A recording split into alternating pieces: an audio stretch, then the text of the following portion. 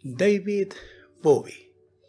David Robert Jans, nacido en Londres en 1947 y fallecido también en Londres en 2016. Actor y cantante pop británico.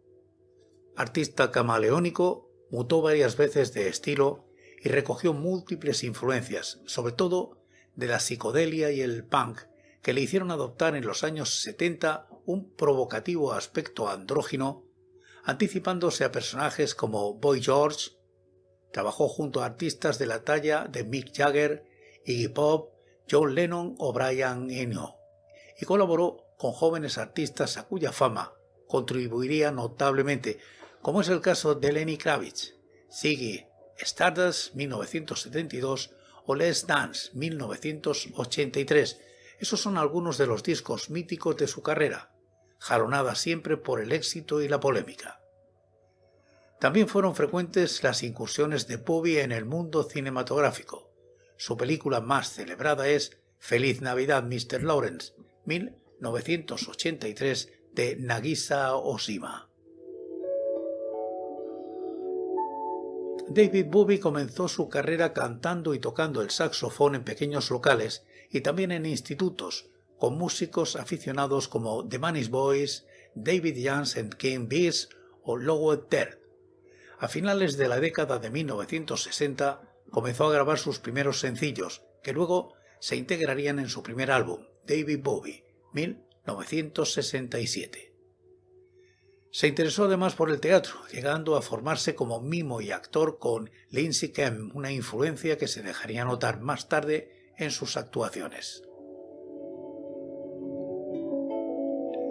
En 1969 grabó el álbum Maned Words, Maned Music, en el cual se incluía el single Space Odyssey, que llegaría al puesto 5 de las listas en el Reino Unido.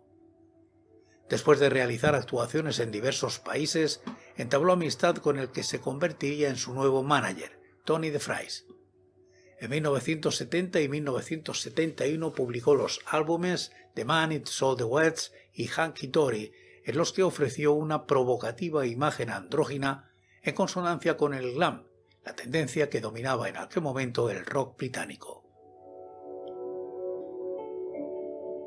A partir de 1972 empezó el gran ciclo de transformaciones que caracteriza su personalidad camaleónica. En The Rise and Fall of Hugh Standard and Spiders from Mars encarna una estrella bisexual del rock procedente de otro planeta. Esta tendencia a la ambigüedad continuaría en Aladdin Sane 1973, su siguiente trabajo. Ese mismo año, Bowie posó junto a la modelo Twiggy en la portada de Pin-Ups, un compilatorio de algunas de las mejores canciones del rock de los 60 y apareció desnudo en la carpeta de su álbum Diamond Dogs 1974.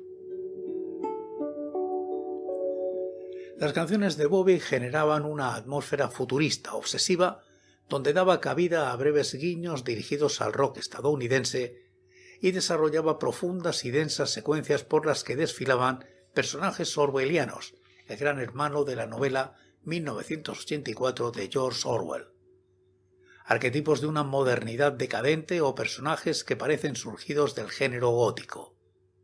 En Gran Bretaña, las críticas a este último álbum fueron duras, y Bowie decidió dar un giro a su carrera, adoptando una imagen personal más sobria e introduciendo la música disco y el soul como influencias estilísticas en sus composiciones.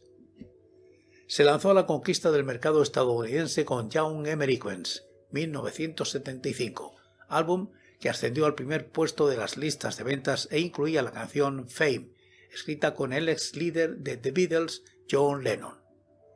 Con el respaldo de Andy Warhol, con el que se trabó gran amistad, su popularidad creció rápidamente. En esta segunda mitad de la década de 1970, Bobby continuó experimentando con nuevos sonidos. El elemento electrónico estaba cada vez más presente en su música a través del uso recurrente de sintetizadores y de la manipulación de su voz en los temas. Esto queda patente en álbumes como Station to Station 1976 y Love 1977, en el que inició su asociación con el músico y productor Brian Sinau. Bobby evolucionaba hacia un personaje de aspecto frío y distante, envuelto en largos abrigos de cuero, lo que le valdría el sobrenombre de el Duque Blanco. Georos 1977 ofrecería estructuras y sonidos aún más densos y complejos. En los años siguientes y todavía con Ginai, Bobby grabó Stage 1978, álbum en vivo, resultado de su gira de aquel año, y Loya 1979, que señalaban su vuelta hacia un rock fresco, original y Jim de sencilla comercialización, aunque enriquecido por todas las innovaciones de la etapa anterior, con Scary Monster 1980, que seguía esta misma tendencia. Con ello terminó otra etapa de su carrera. Bobby emprendió en ese momento su periodo de mayor éxito comercial, pero también el de más críticas adversas por parte de los especialistas que le achacaban un empobrecimiento musical. En Let's Dance 1983 y Tonight 1984 compaginó temas herméticos con baladas que le facilitarían la colaboración con otros artistas, como Iggy Pop, Queen, Tina Turner y Mick Jagger, líder de los Rolling Stones.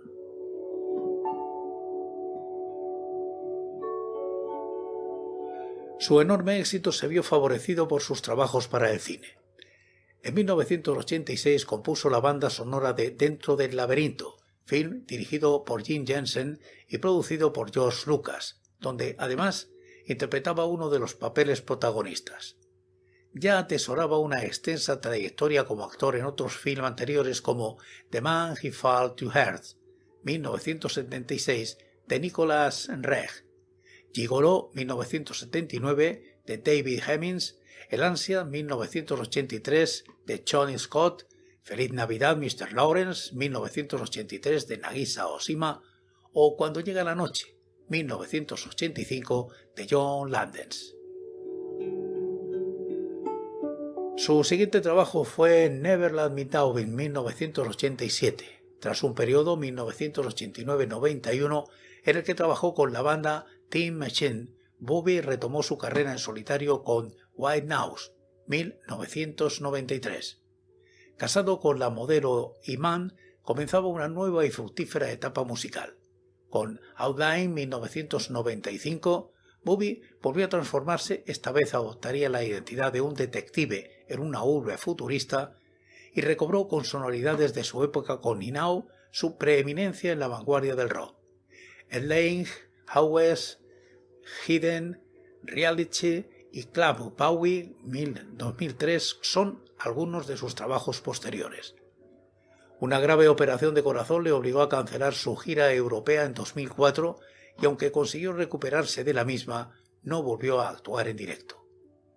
Prosiguió sin embargo su labor musical en los estudios, editando nuevos discos como The Next Day 2013 y Black Star 2016, cuyo lanzamiento precedió en dos días a su muerte.